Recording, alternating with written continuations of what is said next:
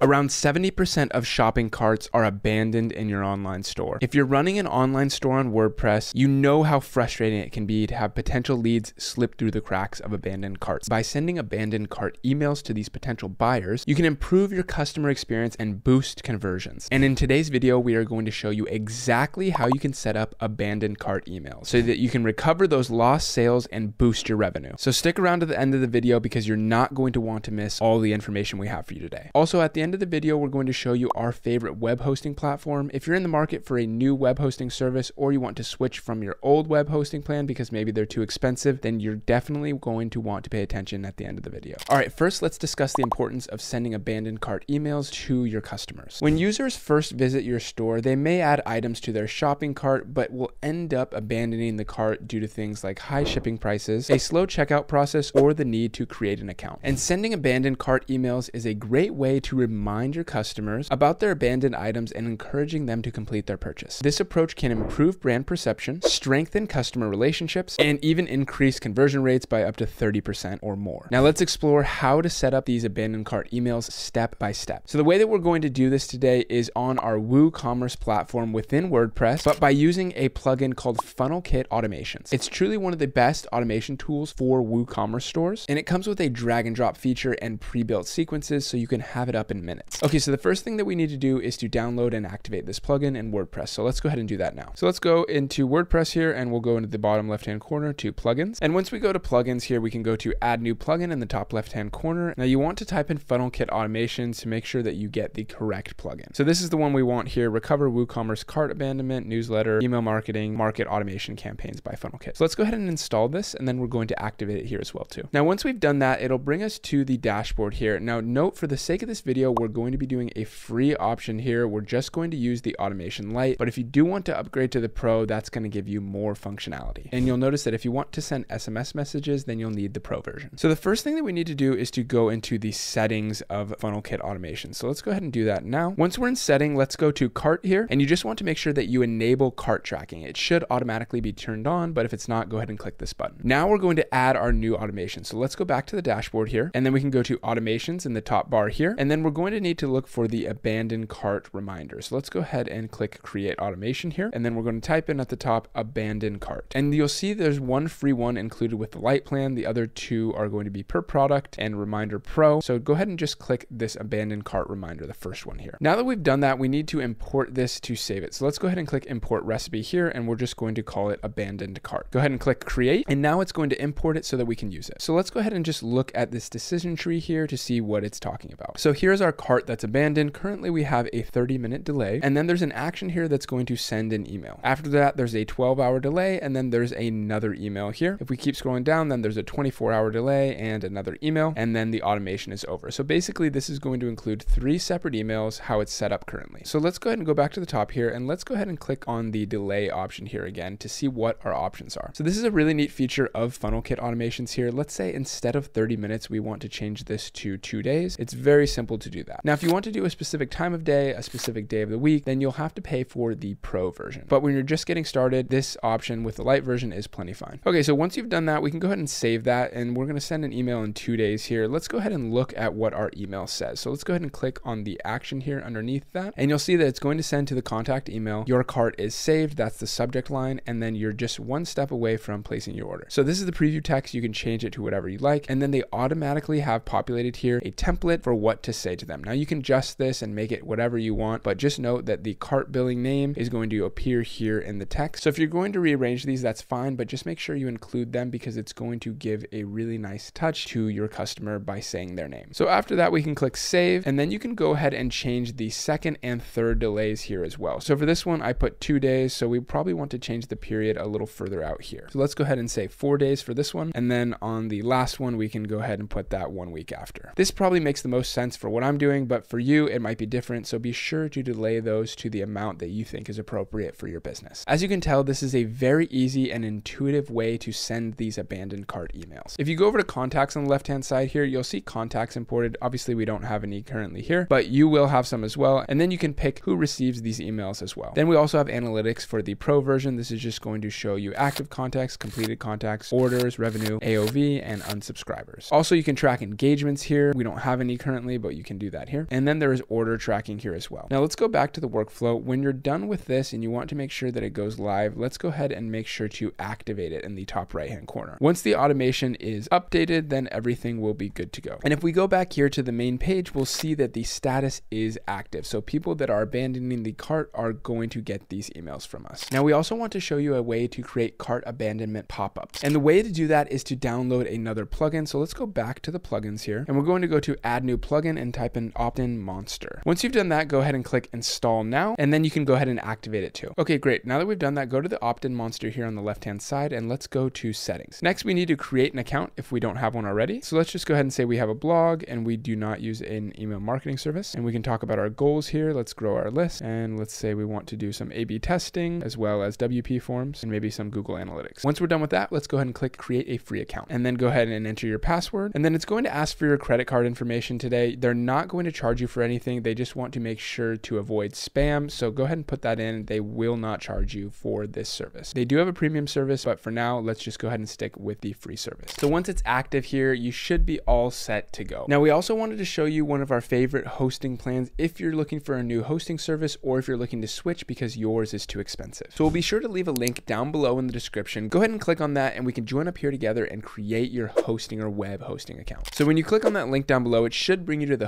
Hostinger landing page here and you'll see that we have 24 7 customer support with them. We get a free domain and we get free website migration if you do need that. We love Hostinger and we recommend it to all our friends because they have great service. Their website is super seamless and easy to use and they have such an affordable price, one of the best in the business as you'll see here in a minute. Also note that they have a 30 day money back guarantee so you can really try this at no risk to you. So let's go ahead and just click start now and we'll review some of the plans here. So there's the premium plan, the business plan and the cloud startup plan. The premium plan starts at $2.99 per month. The business plan starts at $3.99 per month and the cloud startup plan starts at $7.99 per month. So the premium plan is going to get you a 100 websites, 25,000 visits monthly, 100 gigs of storage and unlimited free SSL. It also has weekly backups and a free domain of $7.99 with a bunch of other options here too. Now just note the main difference between that and the business plan is more storage, more allowed traffic to your site and daily backups. Daily backups are highly recommended. They saved my website one time, so I highly recommend that you have them, but you don't have to get them with the business plan. You can just add them on to the premium plan, which you can do later in the process. In terms of the managed WordPress and hosting Hostinger AI website builder, there's some features here that are included like starter WooCommerce on the premium plan. And obviously the business plan is going to have some more options for those. In terms of security, the premium plan has standard DDoS protection and the business plan has enhanced DDoS protection. They also have a web application firewall, malware scanner, and free domain Whois privacy protection, which is a value of $7.99. That makes sure that you keep all of your private information off the public domain. In terms of service and support, there's a 30-day money-back guarantee, 99.9% uptime guarantee, 24/7 customer support, and global data centers. So really, when you're just getting started out, you're not going to need more than the premium plan. That's going to be plenty fine. So let's go ahead and choose that plan, and then we can go ahead and choose a hosting period. Okay, now that we're here for our hosting period, you have the option to choose between one month and 48 months. We really recommend that you choose anything but that one month. So I'm just going to choose the 12 month here, and you'll see that it's $2.99 per month. Let's go ahead and enter our email address for our account. Let's go ahead and enter our personal details here too. And once we've done that, you'll see that we have a 75% discount, but do not forget to add our special coupon code here. The special coupon code is my first website. And once you add that, you'll see the total drops from $35.88 all the way down to $32.29, which is a crazy deal to get a web hosting service for a year. And once you finish with that, go ahead and enter your credit card information here and you're all set to go. Just note that there's that 30 day money back guarantee. And actually, Hostinger is really great about providing refunds. I've had to get a refund before for one of the websites that I created, and it was super easy and seamless to do. So once you finish with that, go ahead and click submit secure payment, and you'll be on your way to creating your website. So that's all we have for you today for how to set up abandoned cart emails in WordPress. We hope you enjoyed this video, and if you did, please leave us a like and subscribe down below. This channel is dedicated to providing you free